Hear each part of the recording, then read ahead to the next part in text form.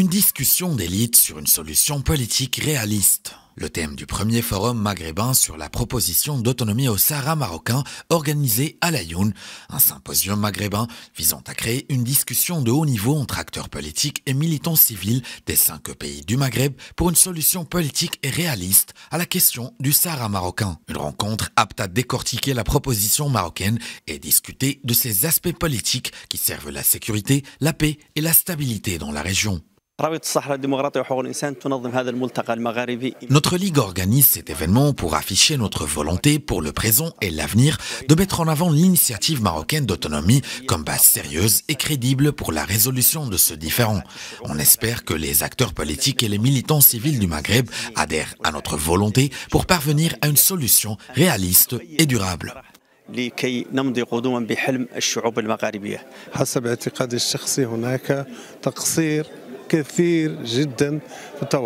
De mon avis, ce différend est aggravé par un manque critique de communication.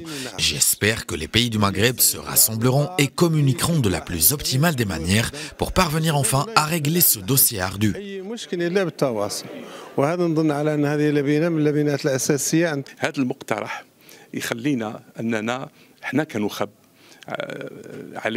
L'initiative marocaine d'autonomie nous pousse, nous, acteurs politiques du Maghreb, à interpeller l'opinion publique de nos pays pour qu'ils sachent que ce différent parrainé par la jante algérienne est critique pour la région et qu'il menace considérablement sa stabilité.